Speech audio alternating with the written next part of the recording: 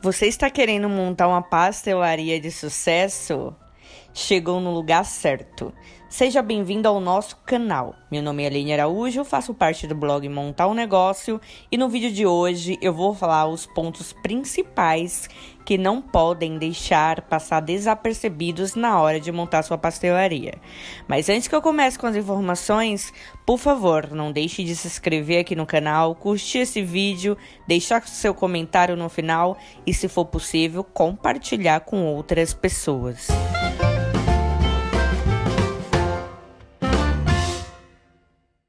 Você deve ter se perguntado: será que trabalhar com pastelaria dá dinheiro? Temos uma boa notícia. Pastelaria dá dinheiro sim. Trabalhar no setor de alimentação é sempre uma ideia lucrativa, mas lógico se for bem gerenciado e de forma correta. Se diferencie da sua concorrência e se dedique ao máximo pelo seu negócio. Comece pelo planejamento. Não importa se seu negócio vai ser pequeno. Quando você se planeja e sabe exatamente os passos que precisa dar, você evita erros e prejuízos e tem mais chances de acerto. Chances de criar uma pastelaria lucrativa aí na sua região. Uma pergunta: Você sabe fazer pastel? Tudo bem que você pode sim montar uma pastelaria sem necessariamente fazer os pastéis. Mas você compreende o quanto é importante que você saiba o processo de produção do pastel mais do que qualquer um do seu negócio? Então, caso você ainda não saiba fazer pastel, eu aconselho a começar a aprender e se preparar, mesmo que você não tenha essa função no seu negócio. Ter esse conhecimento vai te ajudar a ter uma visão mais ampla sobre ele. Uma dica de ouro que eu vou deixar aqui com você é capricho nos recheios dos pastéis. Alguns dos recheios que não pode faltar são frango catupiry, carne, carne com queijo, pizza, presunto e queijo, portuguesa e carne seca. Existem vários sabores inusitados, então teste sabores e se diferencie da sua concorrência. E lembre-se, de forma alguma deixe seu pastel com aspecto de pastel de vento. Se seu pastel não estiver bem recheado, é possível que seus clientes não voltem e ainda vão informar para outras pessoas que não irem na sua pastelaria. Agora eu irei falar da parte estrutural, começando pela localização. O critério para escolher a localização de uma pastelaria é simples e fácil. Quanto mais gente, melhor. Então procure por regiões que sejam mais centrais ou que tenham um grande número de pessoas morando ou trabalhando por perto.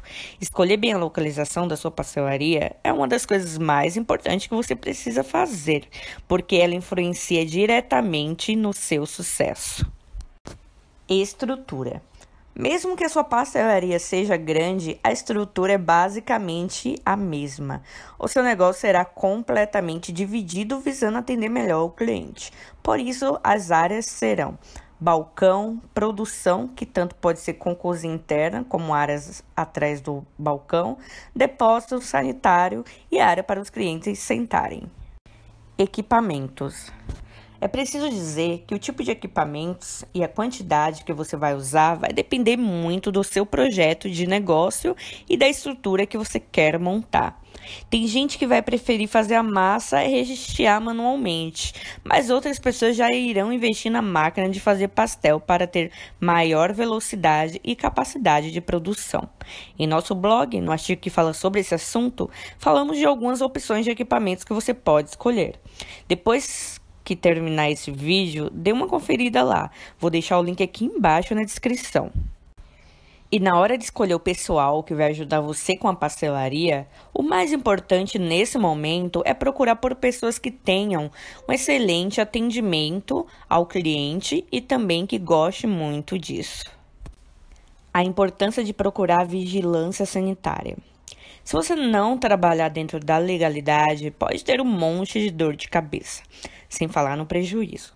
Apesar de parecer ser um processo chato, é muito importante para que você possa abrir o seu negócio de forma correta e ter chances no mercado. Vá atrás da prefeitura da sua cidade e se informe sobre isso. Faça divulgação do seu negócio pela internet. Não dá para querer ter um negócio de sucesso hoje em dia sem estar presente na internet. Não que você precise fazer um site, mais ou menos você tem que estar presente nas redes sociais. Investir em uma agência ou profissional qualificado para cuidar disso para você, talvez seja um dos melhores investimentos do seu negócio porque isso é capaz de até triplicar o seu faturamento em um curto período de tempo.